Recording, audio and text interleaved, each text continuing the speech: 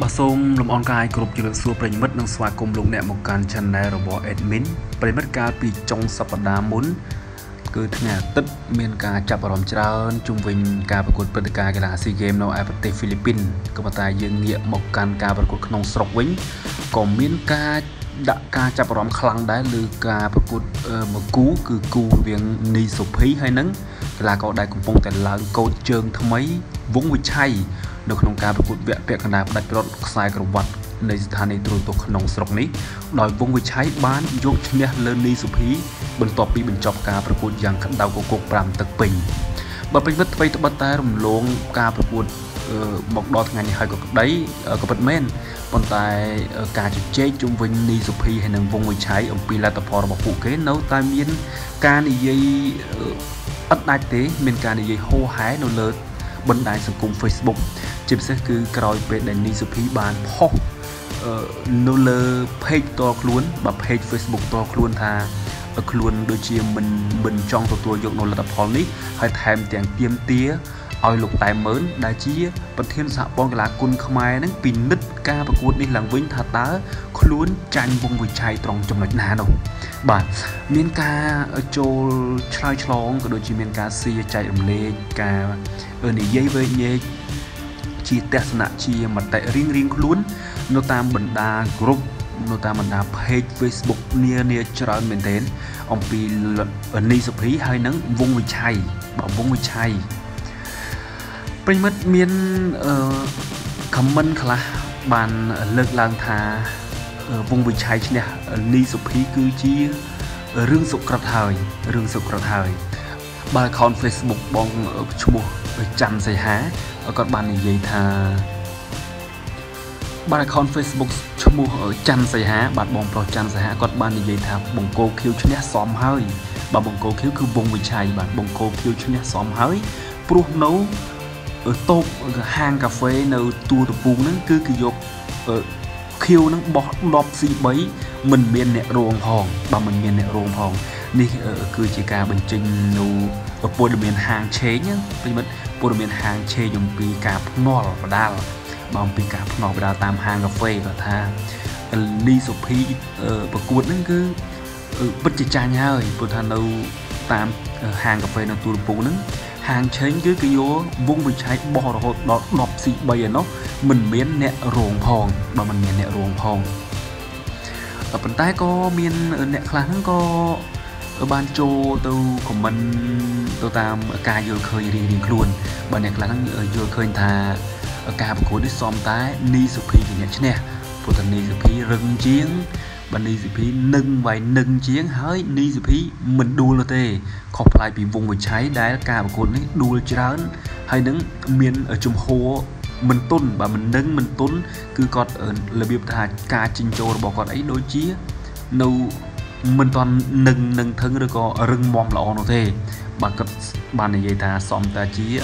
ឡុងសុភីឬក៏នីសុភីទៅវិញទេដែលជាអ្នកឈ្នះបាទដែលជាអ្នកឈ្នះ ក៏ប៉ុន្តែបើយើងមើលពីខមមិនភាកច្រើនបានយល់ថាវងវិឆ័យគឺជាអ្នកឈ្នះទៅវិញបើវងវិឆ័យគឺជាកីឡាករដែលសមតែទទួលជ័យជំនះនេះវាត្រឹមត្រូវហើយបាទត្រឹមត្រូវហើយព្រោះថាវងវិឆ័យទាំងជង្គង់ទាំងដៃគឺគាត់ចេញបានធ្ងន់ធ្ងន់បាទធ្ងន់ធ្ងន់ហើយចំគោលដៅល្អបាទចំគោលដៅល្អស្របពេលដែលនីសុភីមិនបានចេញអ្វីច្រើនទេ ក្រៅពីការលេងជង្គង់បាទការលេងជង្គង់ហើយជង្គង់គាត់ក៏មិនមុតធ្ងន់ដូចជង្គង់របស់វងវិឆ័យដែរបាទដូចជង្គង់វងវិឆ័យដែរហើយដូច្នេះហើយបានជាមានការលើកឡើងថានីសុភីគួរតែទទួលយកនៅលទ្ធផលនេះបាទគួរតែទទួលយកនៅលទ្ធផលនេះ ព្រោះថាវងវិឆ័យធ្វើត្បិតតែជាកីឡាករជំស្រកក្រោយបាទចង្កកីឡាករចំណូលថ្មីណាប៉ុន្តែឡើងជើងសមត្ថភាពគេមានយើងគួរតែទទួលស្គាល់ថាគេពិតជាឈ្នះនៅក្នុងការប្រកួតនេះមែនបើការប្រកួតនេះមែនអ្នកខ្លះរហូតដល់ post status នៅក្នុងរបៀបថាលេងសើចថាឡុងសុភីមិនចាំបាច់ ប្តឹងទៅសហព័ន្ធឬក៏ឯកឧត្តមតែមើលដែលជាប្រធានសហព័ន្ធទេបើទោះបីជាឡុងសុភីប្តឹងដល់តុលាការអន្តរជាតិក៏ឡុងសុភីនៅតែចាញ់ដែរបាននៅតែចាញ់ដែរគាត់ថាព្រោះអីឡុងសុភីវាយក្អែលក្អែលបាទវាយក្អែលក្អែលវាយស្រាស្រាវាយតេះតេះអញ្ចឹងណាព្រោះវាជាទម្លាប់របស់ឡុងសុភីហើយក្បាច់របស់ឡុងសុភីឯអ្នកខ្លះគេថាអឺអ្នកអ្នកប្រយុទ្ធក្បាច់អឺ មន់ចឹកស្រូវណាមន់ចឹកស្រូវបាទបាទយូរមួយយូរយូរមកប៉ឹកយូរយូរមកប៉ឹកអញ្ចឹងណាឡុងសុភីក៏ចូលចិត្តអញ្ចឹងបាទហើយតកតងទៅនឹងរឿងនេះដែរបើសម្រាប់ admin ផ្ទាល់ admin ដែលបានមើលការប្រកួតរវាងនីសុភីហើយនិងវងវិឆ័យនេះដែរដូចជាមានការយល់ឃើញយល់ស្របដែរយល់ស្របទៅនឹងវងវិឆ័យហាក់បីដូចជាមានព្រៀបបាទមានព្រៀបធ្វើបានល្អជាងនីសុភីណា នេះនេះសម្រាប់ការយល់ឃើញរបស់ admin របស់ខ្ញុំផ្ទាល់ខ្ញុំគិតថាវងវិឆ័យធ្វើបានល្អជាងសម្រាប់ការប្រកួតនឹងវងវិឆ័យឈ្នះនីសុភីត្រង់វងវិឆ័យចេញដៃបានច្បាស់ច្បាស់ណាស់ម៉ាត់បានចេញបានច្រើនចំគោដៅហើយធ្ងន់ល្អបាទធ្ងន់ល្អ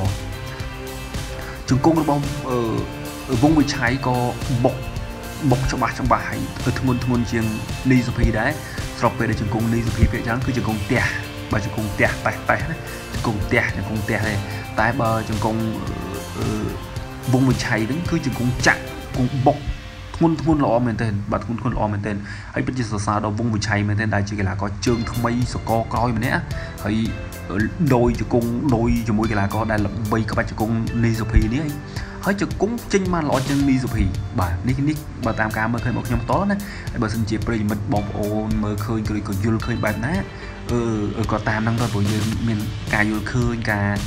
អឺមតិអីផ្សេងផ្សេងគ្នាវាវាមិនជាទៅខុសតោះទេបងប្អូនយល់បែបណាបងប្អូនអាចខមមិនបានទៅមិនមែនថាពេតមាននិយាយពីទស្សនៈខ្លួនឯងពីការយល់ឃើញខ្លួនឯងគិតថាខ្លួនឯងនឹងត្រូវណាបាទសូមបញ្ជាក់អញ្ចឹងណាហើយនេះ admin និយាយអំពីភាពខ្លាំងរបស់វងវិឆ័យនៅក្នុងការប្រកួតនឹងគឺការចេញដៃបានច្បាស់ហើយបានច្រើនជាងនីសុភីហើយធ្ងន់ចំគោលដៅបានល្អបាទហើយជង្គង់គឺជង្គង់មុត មុតជាងនីសុភីគឺជង្គង់បុកជង្គង់ចាក់ស្របពេលដែលនីសុភីវាយភាគច្រើនគឺជង្គង់ផ្ទះជង្គង់ផ្ទះផ្ទះទេផ្ទះផ្ទះជាហើយអ្វីដែលនីសុភីឈ្នះ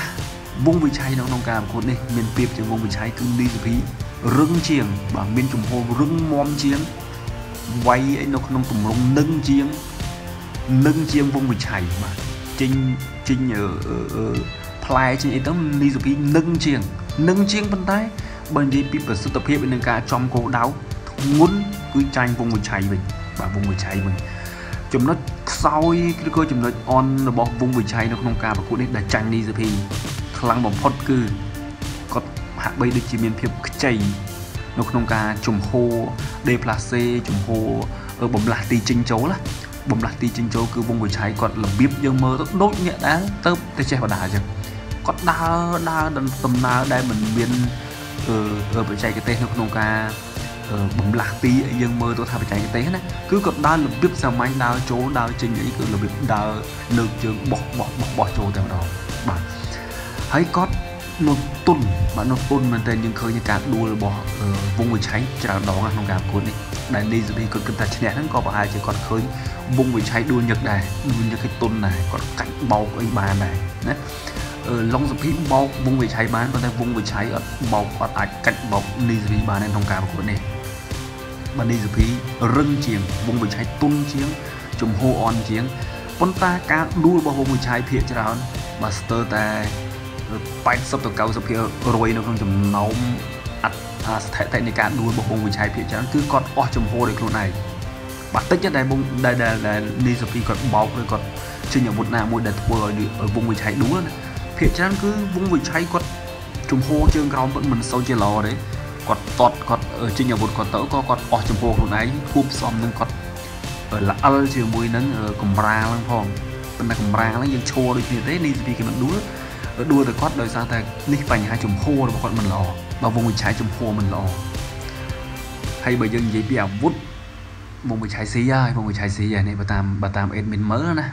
admin មើលហើយ អាចត្រឹមមួយឆ្នាំពីរឆ្នាំអីទៀតបើវូឆៃគាត់ព្យាយាម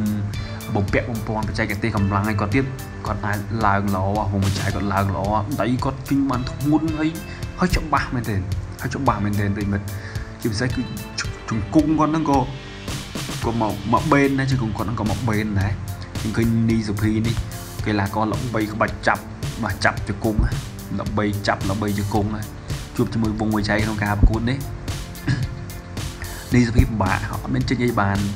អត់មានអីចេញអីច្រើនជាងវងវិឆ័យទេបើយើងមើលទៅចំនួនតិចជាងភាពច្បាស់ក្នុងការវាយចេញចំគោលដៅច្បាស់ចាញ់តិចជាងទៀបជាងវងវិឆ័យណាគឺនេះសវិឈ្នះតែភាពរឹងជំហររឹងមួយគត់នៅក្នុងការប្រកួតនេះការវាយចេញបានច្រើនគាត់ចាញ់វងវិឆ័យចំគោលដៅបានច្បាស់គាត់ចាញ់វងវិឆ័យជង្គង់ដែលគាត់វាយចេញទៅក៏គាត់មើលទៅស្រាល ជាងវងវិឆ័យដែលចេញជង្គង់ចាក់ធំធំបាទប៉ុន្តែយ៉ាងណាក្តីនីសុភីគាត់មានជំនឿចិត្តនិងក៏មានហេតុផលខ្លួនគាត់ដែរដែលគាត់យល់ថាគាត់ឈ្នះណាដែលគាត់ផុសលើ Facebook និងមានការទៀមទាទៅដល់ប្រធានសហព័ន្ធកីឡាគុណខ្មែរអាដាមតែមើលឲ្យពើផ្និតឡើងវិញបាទគិតថាគាត់មានហេតុផលប្រខ្លួនរបស់គាត់ដែរនេះគ្រាន់តែតែជាទស្សនៈរបស់ admin ទេហើយគ្រាន់តែចង់លើកឡើងអំពីមតិយោបល់មួយចំនួនរបស់បងប្អូនដែលបង្ហាញនៅតាមបណ្ដាញសង្គមជាពិសេសបងច័ន្ទសីហាដែលគាត់លើកឡើងថាហាងឆេង នៃការប្រកួតរវាងនីសុភីហើយនិងវងវិឆ័យថ្ងៃនោះគឺគេយកវងវិឆ័យបោះឲ្យនីសុភីរហូតដល់10 C3 ឯណោះ10 C3 ឯណោះបងប្អូនបាទនេះអរគុណបងប្អូនដែលបានចូលរួមទស្សនាហើយក៏អរគុណដែរដែលបងប្អូនតែងតែចំណាយពេលវេលាក្នុងការផ្ដល់មតិយោបល់អំពីប្រធានបទផ្សេងៗនៅក្នុងវិស័យកីឡាអរគុណច្រើនជម្រាបលា